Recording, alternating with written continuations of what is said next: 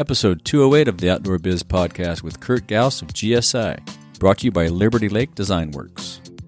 When I'm looking for an innovative marketing approach, packaging design, catalog, and web development, I call outdoor industry veteran Marty Heister at Liberty Lake Design Works. Marty has gathered a team of experienced outdoor industry freelancers providing expertise across a broad range of marketing services. Visit Liberty Lake Design Works to discover how collaborating today's technologies with talented teams delivers brand success. I believe achieving success in the outdoor biz is dependent upon embracing the outdoor lifestyle and learning from outdoor leaders that came before you. If you agree, then listen up for tips, advice, and hacks about growing or starting your career in the outdoor biz. My name is Rick Saez. Welcome to the Outdoor Biz Podcast. So I've been hearing from retailers, brands, outfitters, and others that one of the challenges they face these days is engaging with new and existing customers. You post on all the socials, public, publish articles, blogs, videos in order to grab attention, and the response is, eh, maybe not, let's just say not what you hoped. Today, a better option is a podcast, and you might think you don't have the time or the budget or the talent to produce one, but I think you do, and I'll show you how. A podcast will give you broader reach to an unlimited amount of customers and a clear opportunity to meaningfully impact a huge number of people. So if you're curious about podcasting, visit podcastersworkshop.com slash brainstorm and let's jump on a call and talk about it. Today's guest is one of our outdoor design wizards making the cool product we just can't live without. He has degrees in design from Notre Dame and the University of Wisconsin Milwaukee. He's taught product design and led undergraduate and postgraduate programs of electrical and electronic, robotics, and product design at the University of the West of England. And he's led the design efforts for over 13 years at GSI Outdoors. Kurt Gauss, welcome to the Outdoor Biz Podcast. Hey, Rick. Nice to nice to hear from you. Yeah, good to catch up with you. I spent a little bit of time with you at the OR at the end last day. That was pretty crazy, but it was always fun to get together. Yeah, always crazy and and busy and noisy. Yeah. Yeah, that's right. Yeah. Was it a good show for you guys? It was huge. Um, we had our our new uh, the ultra thin uh, Pinnacle Pro stove there, Oh, and right, I saw that. um, that got a lot of a lot of attention and snagged a couple of awards, and Nice. that's always fun. That was a a project that oh geez, I've been working on that project probably for over four years. Wow. Um, yeah. the uh, the original mandate coming from one of the owners saying, "Make me a stove that's thinner than a MacBook Air."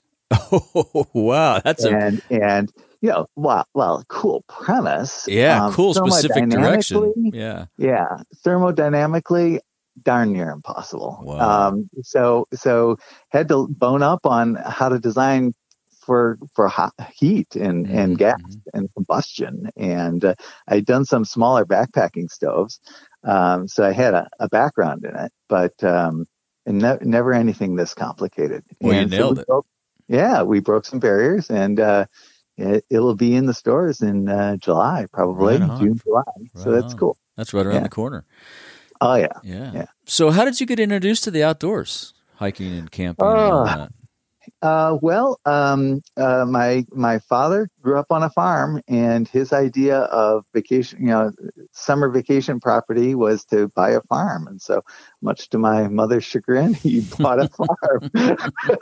Did- we're going where? the- yeah, my mom kind of wanted the lake house in uh, you know north of Milwaukee, Wisconsin, and, but he got the farm, and so Wow. from yeah from memorial day through labor day uh, we were basically dropped off and i had three older siblings and and we had 70 plus acres just to roam Oh, and cool. tree forts and camps and teepees and sweat lodges and ponds and fishing and and all Jeez, How that fun is that? Yeah.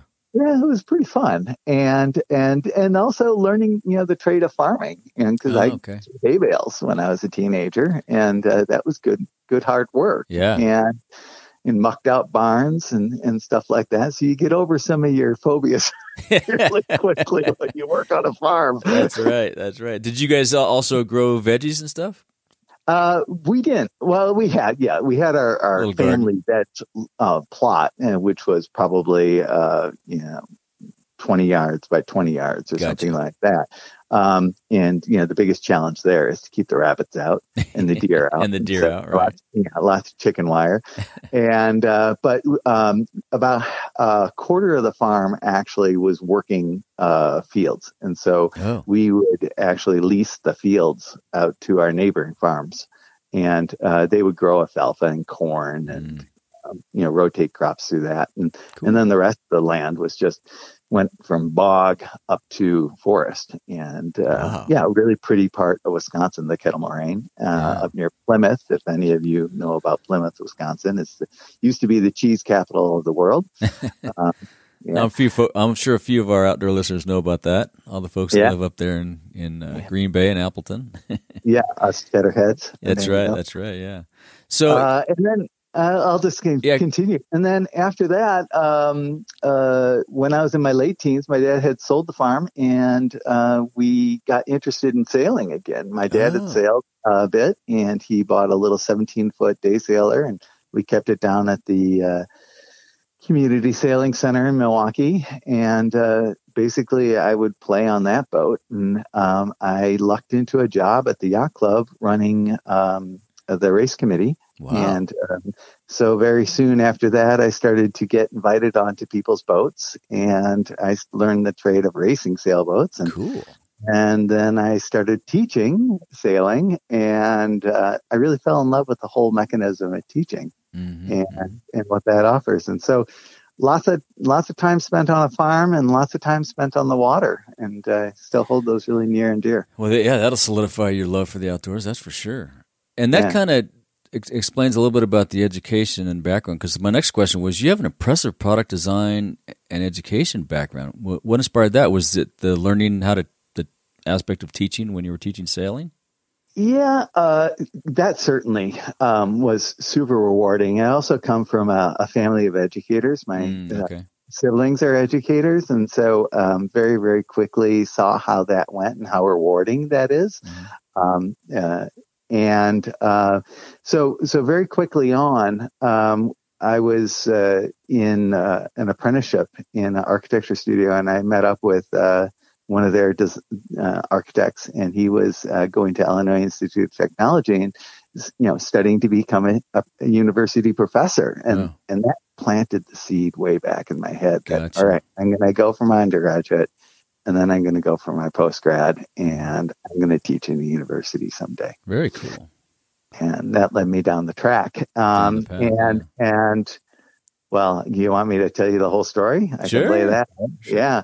So um, I did my undergraduate, and uh, three years into the profession, my uh, boss said, "Kurt, it's time for you to go and do follow your dreams. And you're really valuable here, but uh, I don't, I can't." Offer you much more and milwaukee's not going to offer you much more Mhm. and, uh, so I cast my my net out to uh, postgrad schools, and University of Notre Dame hired me as adjunct faculty. And Wow. and the great thing about that is there was no tuition, and I got a paycheck. So That's great. yeah, I was able to come out of my postgrad degree with my all my student loans actually paid off. Wow. Very cool. That's great. Huge. That's And- significant. and- yeah.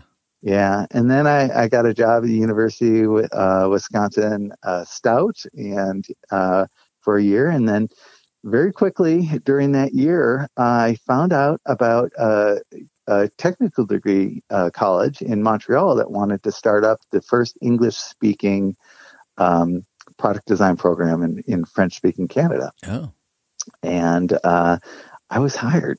And Wow. so I immigrated to Canada, got my citizenship, learned Wow. French, and because every all the paperwork from the government came in French, and built a program. Huh. And and That must because fun. it- oh, it was huge. And uh, yeah, it was really good. Yeah. Um, and you know, hired the people, bought all the equipment, went through all the uh, professional association approval process, and and it was it, it still is a fantastic program. It's Yeah. thriving to this day cool. um, Dawson College. Um, and then during that time, um, I I didn't want to just become one of those professors that doesn't practice, and so um, because of the way Dawson College was set up, they they said you can do empirical research like lab research, or you can professionally practice. And if you Mm. professionally practice uh, for tenureship, your track will be patents oh, wow. instead of having to do theoretical papers and stuff like that. so you that. have something valuable to walk away with at the end. Yeah. Right. And so I started a little uh, collaborative called the Gauss Group. And um, it was uh, a bunch of my friends that were out in the field and a couple of students that had just graduated, and we we did projects and we professionally practiced and had you know a thriving design firm group for you know four or five years until I, I moved on to uh, Spokane. Mm-hmm. But uh, no, it was, it was great. And you know, one of those projects was uh, the medical appliances. Well, actually, three of them were medical appliances. Mm-hmm. But uh, mm-hmm. yeah, I was just going to ask you about that. So that's how you got into the, that work. That's great. Yeah, well, you're at, you're working for a, a, a college, yeah. and then other R and D's uh, at other universities and colleges, you know, know of you, and mm-hmm. You know, it's, it's, it's not that hard to think that they're going to call you up and sure. at least ask for a consultation. And so right away, I got involved in designing knee appliances with uh, Nike Bauer and oh. University McGill and University of Montreal. And, mm-hmm. you know, to rub shoulders with indus- industrialists and, you know, amazing researchers yeah. And and to take their dreams and ideas and concerns and turn them into product, a viable product that's yeah. patentable and marketable. Um, is uh, again was just an amazing opportunity. And well, so, and knee products. I mean, and, and, the functionality and the tolerances you've got to you know build into those things. I mean, that that just solidified your experience in ways that I bet you still call on today. Yeah, you know what it taught me is this empirical love of mine for engineering solutions, mm-hmm. and, that really had centered me um, with, excuse me, with how I approached design, mm-hmm. um, and how at Dawson College I was teaching and formed the program to to go towards design. Right. And it's just not pretty pictures. It's just not pretty sketches or drawings or right. computer renderings. And you have to build things one that work and and two that that hopefully you know uh, not only solve the functional aspects of what the design needs are, but also fill in the emotional aspects. Yeah, I mean, fixing some. I mean, I I need a knee replacement, and I I for years have needed it, but I can't imagine what it does for someone mentally as well as physically. I know what it'll do physically, but mentally, it's just got to, you know, oh, that's not going to hurt anymore. I can do this now. That's got to be really significant. Right. So, so one of the knee braces was fun because it was a prophylactic, and that means uh, doesn't actually uh, do anything for you under normal use. But if someone were to hit you or right. check you, yeah. a hockey player or field hockey player, um, it would protect you. It'd take the hit for you. Right. And and there's a whole bucket of emotional things around there. When you're an athlete that's earning you know millions of dollars a year, yeah. and some take you out. Yeah. And, yeah. and what is that to have this very uh, this appliance on your leg that's going to be able to take the shot for you? Yeah. And um, and yet, from an engineering design point of view, you have everyone has their own it's called pathology their own your leg moves differently than my leg our mm-hmm. bones are built different so how do you build a brace that's not a custom workup for everyone right. that actually can be adjusted to everyone's pathology and moves exactly as their move, leg moves without putting any kind of odd movement into it causing injury that was a trick. Yeah, I can imagine. Yeah, it's uh, I've got two of them, and you guys did a great job. I don't know who I don't know if one were inspired by your work, but yeah, it's amazing what they do. I mean, it just cool. yeah takes the weight, takes the load off, and there's no pain. And of yeah. course, it's gotten worse over the years. I don't ski anymore, but I used to wear braces all the time just so I could ski. So yeah, yeah. very cool. And so you've had a couple of different stints at GSI with some academic work in between at the University of the West of England. Tell our listeners about that.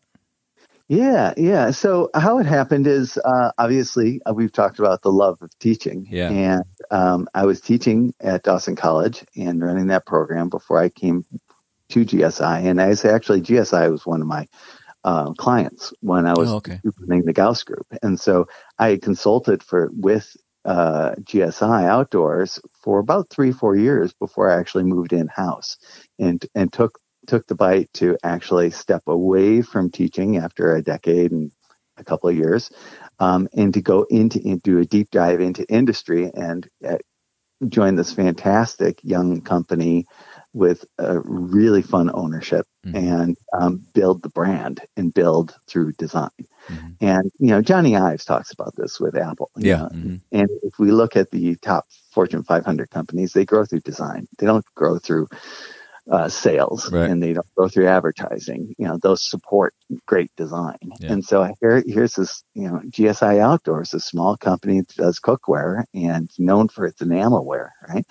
And we introduced design and we saw the company grow and grow and grow consecutively and win awards and win awards through, you know, basically the crash 2010. Uh-huh. Um, and coming into that crash, I had married and had uh, we had two sons, and one was uh, 2008 nine was uh, four months, five months old, and the other was two months of five months old. Hmm.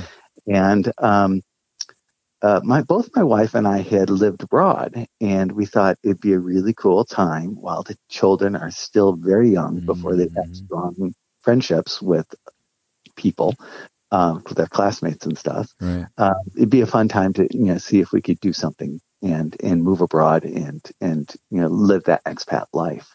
So I cast my net out for teaching jobs um, Hmm. because I'd been now professionally practicing uh, with GSI for uh, t- almost ten years, and I thought. Oh, okay. I've kind of got this decade got worth of chops, teaching yeah. going yeah, let's see what teaching's going to be like. Right. And uh, I, I interviewed with a, a couple of universities, and the one that popped up and offered me a position um, that would really work well with the family was the University of West of England, um, uh, because it spoke English, and so we wouldn't have a, a language barrier. Although I speak French and, and English, my wife only speaks English, and she with two babies, she didn't want to take on a language Yeah. too Mhm. that would have been really a challenge. Yeah. And and so we um we moved to England almost sight unseen. And Oh, wow. uh, it was, yeah, it was it was just this crazy thing that we did. and um we we landed in Bristol and uh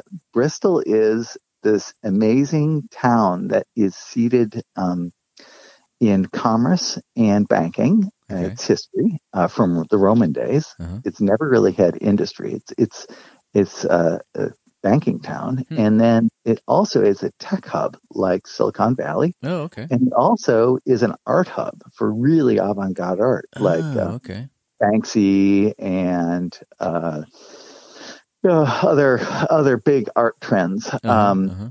uh, hip hop comes from Bristol Huh. uh, as a music scene. And so you have this creative pulse in this town, and you have this tech pulse with Airbus and Boeing Wow. and Microsoft and Apple. Johnny Ives lives up the street, you know, Oh, kind of wow. Yeah. and and then you have banking, and you put those three together, and Man, you're going to have this, uh, a really fertile ground for some Yeah. projects to work on.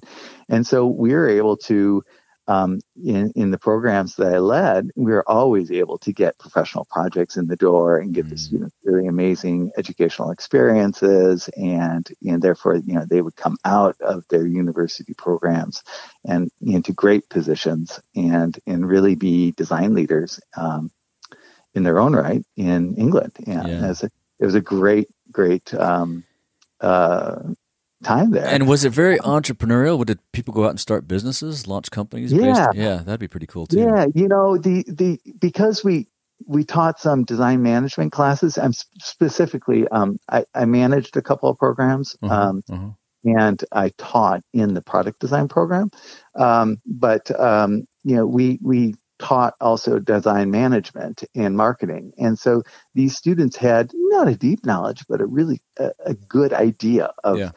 All right, I'm go- what I'm going to do is I'm going to work for a company, and then two or three years later, I'm going to step out on my own. And Very cool. they they do that, and they're very successful.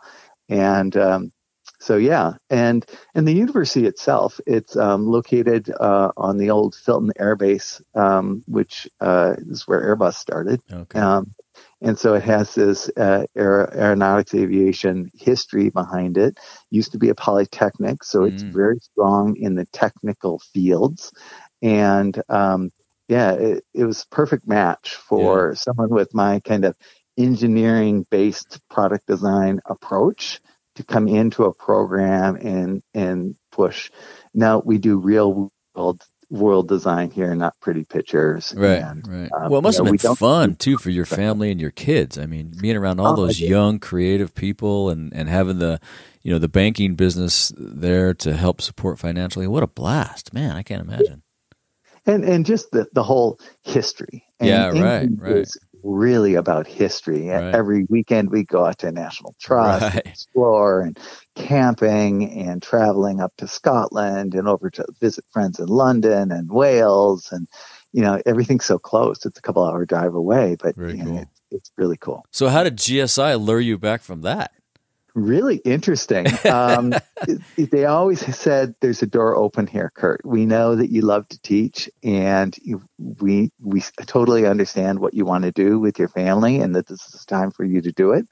Um, I don't know if they were really happy about seeing me walk out. Yeah, right. 2010 Right. but uh, without necessarily knowing if I'm going to come back. But they always had the door open, and and um, about three years in, Sarah and I were my wife. Uh, we were thinking, yeah, I think we want to actually start looking at returning to uh, the Pacific Northwest area and either Canada or the United States. And um, where would we want to go? And so we did the pros and cons thing that everyone does. you know. yeah. And and we looked at each other and go, Spokane? we could move anywhere we want. And and when we left Spokane, well, I'll, I'll back up. When we came to Spokane, Sarah came to Spokane as a Gonzaga uh, University uh, student, and I came to Spokane uh, after Dawson College, and around around 2000, Spokane was just starting to move. Hmm and and its art scene was just starting and its craft beer and whiskey and wine was just starting to come on and it you know it has universities there and it has hospitals and you know it has all the elements it was just starting to come on by 2010 it was starting to really roll and then the recession came in and then when we came back when we decided to come back it had really started to move and it's Mm. you know really really becoming a very cool town yeah.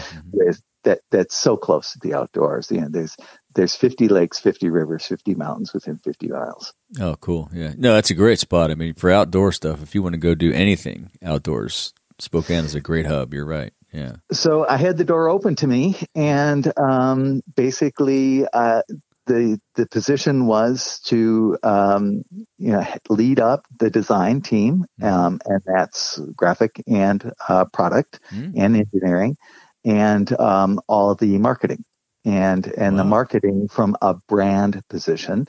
Um, and I collaborate on the marketing with uh, director of sales, and so he kind of takes a lot of the, the sales issues around the marketing, the sell through, and I take all the branding aspects Gotcha. of it. And I like message. that way that's that's set up. That makes a lot of sense. It does, um, especially if you're really trying to have a design led Yeah. uh, yeah, company. Yeah. Um, and and granted, we all have to you know make sales. And so Sure. Yeah. At the end of the day, it's gotta go road, out the door, yeah. product. Yeah. Um, it's, you just can't bomb your company by having these great branding initiatives without sales to back them up. right. But uh, yeah, it's a, it's a fantastic opportunity. So it was kind of easy, um, and uh, we knew where to. We knew the town. You know, when you move Right. into a new town, it takes you years to adjust, but Sure. we knew it, Yeah. and so it, it was easy for the family, easy for GSI, Mhm. and just made sense. Very So cool. Yeah, Yeah. Well, let's let's shift gears a little bit and talk about. Um, I love how your products just function and work together. You know, I I originally went to school to study architecture and never continued on with it, so I have that in my background. But y- you know, your products just they. I used your new coffee setup over the weekend, and it's just like it's Ah. tight, it's clean, it works, it's you know, it doesn't take up a lot of space in your pack. It's just great. So, how do you? Where do your ideas come from? How does that? Where does that design ethos? Funny you say that. Um, uh, they're very pragmatic. Um, Mm-hmm. what we really did is we looked at the value proposition for um, the people that were using our gear. Now, GSI, we make cookware and we make hydration stuff, Mm-hmm. bottles and stuff like that. So, um, when you're going out and hiking, you have to basically uh, carry water and you have to carry your cookware, right? And Right. and then you have your plates, cups, and bowls, and and aside from that little Boy Scout aluminum mess kit, which was kind of awful, um, uh, that we all grew up with, right? Everything stuck. We all had one of those. Yep. You know, we all had one of those. Uh, there hadn't been a lot of really this infilling, and and so the idea came about that if we could um, start with a fuel canister and a stove and wrap a bowl, a cup around that, mm-hmm. or a mug around that, and then put a bowl around that, and then put a fork, knife, spoon in that, and then put that into a pot and put that pot into actually a bag that could be dual purposed as a water carrier mm-hmm. or, or a kitchen sink. You start to win. You start to increase the value proposition because now you're getting more function for less space. Right, big time. And, yeah and the materials are materials, right? So yeah. polypropylene weighs what it weighs, and aluminum weighs what it weighs, and yeah. and works really well. And so if the materials are pretty straightforward, but it really comes down to the design and the utility of the design. Yeah. And and so we started infilling, and um, that 2008 uh, Dualist Award, Backpackers Award, mm-hmm, was mm-hmm. a great confirmation that we're on the right track here. And then we kind of rolled that out into pots and pans. And their funny little anecdotal story about MSR coming over to us and, and, and, and admitting, yes, we were inspired by your design. yeah. well, nice of them to come over and tell you that. yeah, yeah, and, and, they're good. Yeah, they're they're, they're good, good guys. Yeah, they're, yeah. They're, yeah, they're great guys, yeah. and you know we all and we all laugh about it because of course you know we're looking at each other, right. and it, it's all good competition. Um, it drives us all to be better, mm-hmm, um, mm-hmm. And, and so that that basically really branded GSI as this they're the people to put everything inside everything, like the Matryoshka Russian dolls, you know, the right, yep, yep. Um, and and then we in 2009 I did this silicone collapsible cup uh, with a lid on it, and uh, other people were inspired by that design and they did their product lines, and uh, we came back to that in 2016 and uh, did a pot with a one of the radiators or a heat sink on the mm, bottom. Right. Mm-hmm. And and and what that does is that um, instead of trying to infill, that collapses down flat, obviously. So it creates a different way of high density packing. Mm-hmm. So bottom line is you can get more value in less space. You're not carrying a house on your back. Exactly. Uh, and and you're going to be more comfortable in the outdoors. Yeah, right? and you use lightweight materials, and yeah, no, it's just it's. Has, was there any any individual person who influenced your or inspired your design style, or is it just all the backpackers and your experience in the outdoors? Well, yeah, it's funny. I, I've always been attracted to Dieter Rams, mm. and and he's a design icon. He's very straightforward. You know, many people out there have been. The whole Bauhaus, um, you know, the clean and purity of lines and uh, form and function um, not the form follows function or function follows form, um, mm-hmm. but it's and function. Yeah. Um, so, so that cleanliness, and then just my pragmatic approach that I really start from the engineering solution, and then I, I work out from there um, into uh, what the brand wants to align with as mm. a brand and aesthetic. So, so we look at the the you know the the brand value points for right. utility and solve those, and then we go into the brand styling. That's great. Yeah. And, and, that's just the way I do it. Other people do it the opposite way. There's probably no right or wrong. I just think it's easier to solve the engineering before we step into the actual aesthetics. Yeah. Yeah. No, that makes sense. Yeah. No, there is no right or wrong. You're right. There's a bunch of ways to, to slice that apple. Um, have you had any mentors that worked with you? Uh, interesting. I've had very few people mm. that, hmm. um, have mentored me, like you know, been the the type of person that can advise me through my yeah. career. Mm-hmm. Although I've been a mentor for many students and mm-hmm. and young professionals. Um, there was one uh, professor at the University of Bristol um, uh, when I was at the University of West of England, and we were doing a collaborative uh, project to bring our schools together into the Bristol Institute of Creative Technology. And this this was like a uh, Bell Labs of the 40s and 50s, where oh, you cool. put technology and artists and industrialists all in the same room, and you just do this these this crazy projects involving uh, AR and uh, you know, computer technology that David May brought in, and uh, his group from the University of Bristol, and my electronics and robotics and wow. product design from UE, and it would have been great. Um, it never came to fruition, Mm-hmm. but during those years that I was working with him, he was so inspiring and so great in his counsel that I would say that he was he was probably my mentor while I was in uh, England, Gotcha. and a really cool person. That's good. Yeah, it's good to have someone like that. Yeah. So you must be outside all the time. Do you have a couple Ha. of favorite spots? Not out. We're never. Nobody's outside enough, is how I feel. But you get. You must get out to test products and test ideas. And do you have any favorite spots you like to go to? Uh, yeah, well, um, certainly, um, in my outside time, I've, I have two young boys, uh, young, uh, 11 and 13 Oh, coming up cool. and, uh, we mountain bike and we ski Yeah. and we love it. And there's a local ski area. I'm sorry, local mountain biking area called Beacon Hill, Okay. just on the, uh, just outside of downtown. It's so easy to get to, you know, 10 minute drive from our house That's great. and it has miles of mountain biking. Um, and so we do that uh, pretty much eight months of the year. Mhm. And uh, when we're not doing that during the summer months, we're hiking in the Pacific Northwest and and um, uh, yeah, hi, sometimes we get out to the um, Bellevue area and we do some sailing. So Oh, cool, fun. So you do a lot of different stuff. Yeah. Yeah, yeah. And then in the winter, we Nordic ski and we alpine ski. Cool. And because we're in the Pacific Northwest, you know, we have plenty of that around. Yeah. Mount Spokane has a, a great little community mountain and a community uh, alpine and, and Nordic ski area. And uh, yeah, Spokane Nordic Ski Association, I volunteer for them. And Oh, cool. yeah. That's fun. Like yeah. that. Is there any place you haven't been to that you'd like to go visit? Spend uh, some South time? America. South America. Oh, yeah. Yeah. Any- Where in South Yeah. America? Well, of course, everyone says Chile, right? Yeah, You get, yeah. down, you get down towards Patagonia Yeah. and you start to see those that kind of stuff down there. Um, would be really, really an amazing adventure. But uh, we're gonna have to brush up on our Spanish before then. well, they speak a lot of English down there. I was down there. I- we went down, spent some time in Santiago, and then went to uh, Antarctica. Spent some time in Oh. Ushuaia before we left. And you're right. That is just it's. It reminds me of the Sierra a lot. Actually, it's pretty rugged country. There's uh, just a wide variety of terrain to go visit, and I, I want to go back because I was just traveling through to get to Ushuaia to get on the boat. I didn't see much of it, but yeah, it's just amazing. And so you do a lot of outdoor activities. You sail, you ski, you hike. Any climbing or Uh, yeah, well, we haven't done much rope climbing. Um, uh, we have the kit, um, but uh, it just, you know, how do you fit it all in? It's, yeah, it's it's hard. Uh, what what we do do um, most of my skiing uh, on Saturdays is I lead um, a ten to fifteen year old uh, cl- uh, a class called Spokane Nordic Rangers Oh, cool. and is for our local Nordic Ski Association.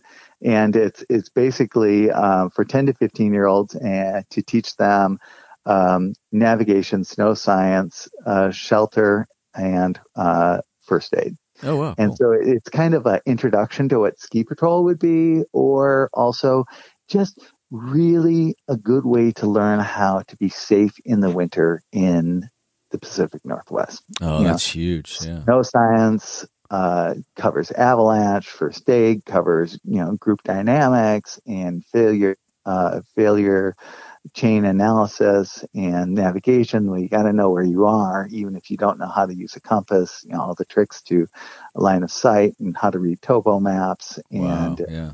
and then shelter building is what everyone enjoys the most. It's like how to build a fire in snow and with Yeah. wet wood and how to actually do a really quick shelter and, and then do really elaborate igloos and stuff like that. And so Oh, it- fun. it's a great, it's a great class. Yeah. And, and then, yeah, of course, Nordic skiing, skate skiing, alpine skiing, backcountry skiing I used to do before kids and get back into a little bit as they get older, but it, the stakes are too high.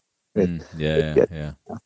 And then, uh, like I said, just hiking around the Pacific Northwest. We're planning a, a hike in Stehekin, uh, Lake Chelan area, and the, this early this summer, and then sailing. Of course, whenever I can get sailing, I sail, whether it's Oreille or Priest Lake or on the ocean. That's great. That's great. Sounds like a great life.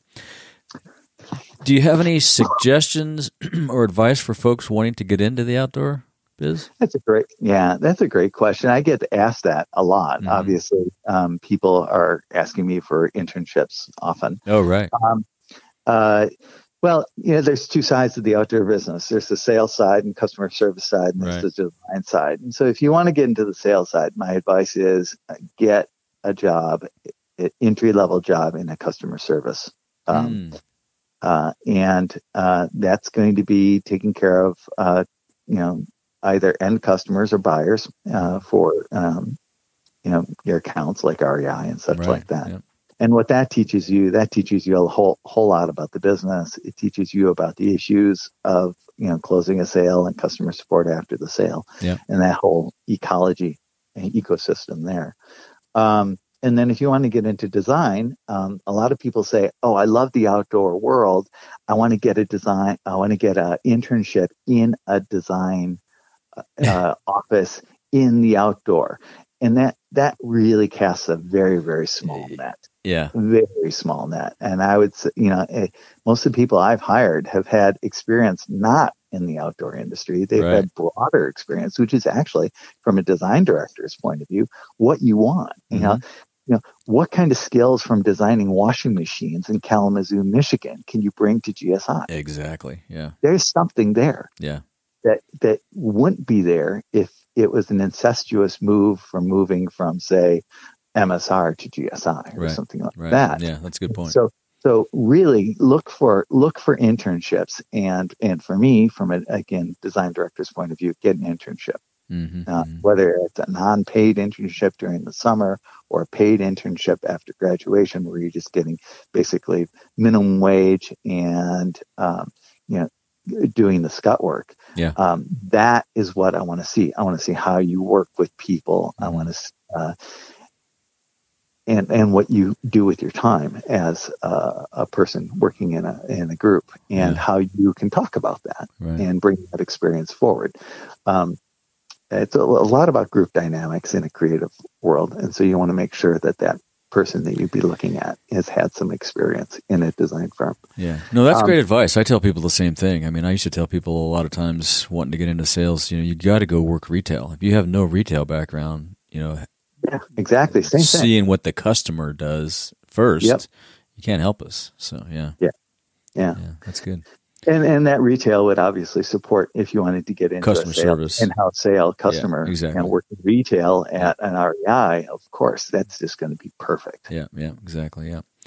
Um, so you get out a lot. Do you have any other daily routines to keep your sanity? Do you meditate? Yeah, Yeah. Yeah, uh, my wife and I do our. We wake up at 4:30, 5 o'clock, and do our morning yoga Cool. together while the house is still quiet. Yeah. And uh, then um, I have this. We adopted this crazy dog that is is 14. We did the DNA test on her, and she's got like I don't know. My I probably have the number wrong, but 10 different mixes in her from Oh, lab wow. to Great Pyrenees to Pit Bull to Border Collie, to Wow. on and on and on. But she she kind of looks like a Border Collie lab mix, and Okay, cool. uh, but she it seems that she only has one speed setting, and that's full on.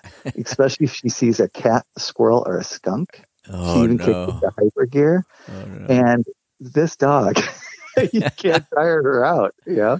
So there's usually a morning run instead of a walk, which I'd rather do in the morning with her. And um, and then um, certainly uh, there's all the weekend things, and our weekends are pretty full. And Sounds like it. Yeah. we- we try to fit some bike maintenance in and some house maintenance in, Mhm. but that, oftentimes this gets trumped to the pursuit. yeah, Uh, that makes sense. that, Yeah, like, ah, yeah, no, we didn't need to clean the chains. Let's let's go right. yeah, we can do that later. Yeah, we can do that later. Uh, how about podcasts or books? Do you give books as gifts very often, or some of your favorite books? Uh, I I don't give books as gifts. Mm-hmm. Um, I'm I I read kind of to escape, yeah, and so um, uh, and the, you know.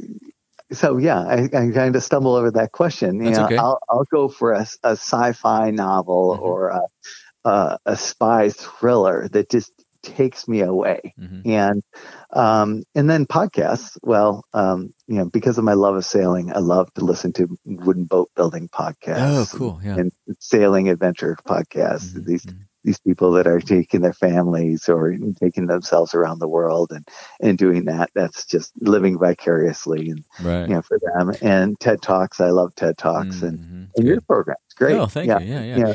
Yeah. Work, yeah, working in the working in Spokane can be a little isolating. It's Yeah, like yeah. Seattle, but there's design firms around, and so Mhm. if I can network vicariously and Mm-hmm. hear what's going on with other people, that's great because we don't get time to do that when we're at OR. Yeah. No, that's you're right. We don't. We're so busy. Yeah. Have you been to the Wooden Boat Festival? I have not. Oh, but, you uh, gotta go Port to that. Townsend is where I'd like to retire for Oh, sure. okay. Yeah, yeah. You've got to go to that. I went up there one time to visit a buddy of mine who lived there for many, many years, and that was going on. Man, that some of the the work, you know, design and craftsmanship, and that thing is amazing. Beautiful work, beautiful boats. Yeah, You yeah, love it. Yeah. So, what's your favorite outdoor gear purchase under a hundred dollars? Here's your chance for a Oh, plug. Wow.